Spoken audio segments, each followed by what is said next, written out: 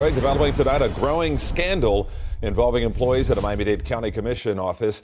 A second and third arrest involving theft of public money, and this may not be all. Local 10's Glenna Milberg live now in Miami with what she's learned today. Glenna. Calvin, the arrest warrant is 52 pages and it unspools a pretty complicated scheme, but it all comes down to this.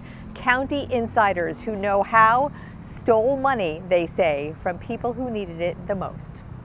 Had the power to grant grants or not. He had the power to decide the amount of the grant and Mac-Kinley Lauriston abused that power, according to prosecutors, the former chief of staff for Miami-Dade Commissioner Jean Monestime. Manipulate this grant system for their own personal financial benefit. His arrest is the latest among current Monestime aide Evel Judy and their accused money launderer Nadine Cherry, a banker at a Hollywood Wells Fargo. A lot of counts listed here, racketeering, organized fraud.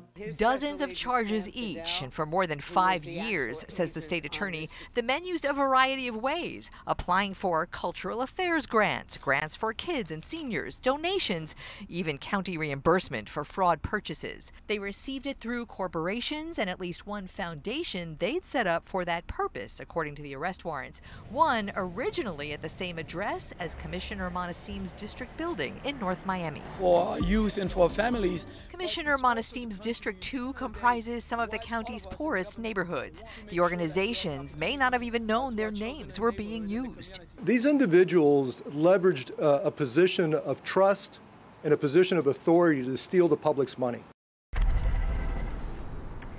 I actually texted Commissioner Monestime today. He answered that he is not at liberty to comment because it is in the hands of law enforcement. They say here there is no indication that the commissioner had any idea of what was going on in his office. A couple of things we asked the state attorney that she wanted to keep under wraps. One of that, one of them is who tipped off prosecutors to all this about seven months ago, and the other, are any other arrests or charges coming?